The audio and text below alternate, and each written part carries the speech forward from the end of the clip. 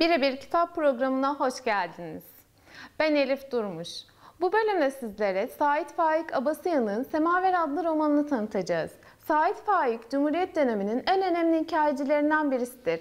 Zengin bir ailenin çocuğu olsa da fakir insanlara öykülerinde anlatmış, toplum sorunlarına gerçekçi bir dille yer vermiştir.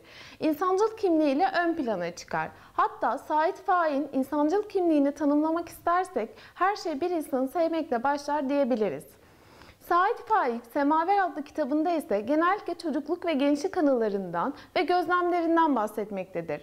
Çünkü kitabını yayınladığında 30'una yeni basmış bir yazardır. Kitabı 3 bölümde inceleyebiliriz.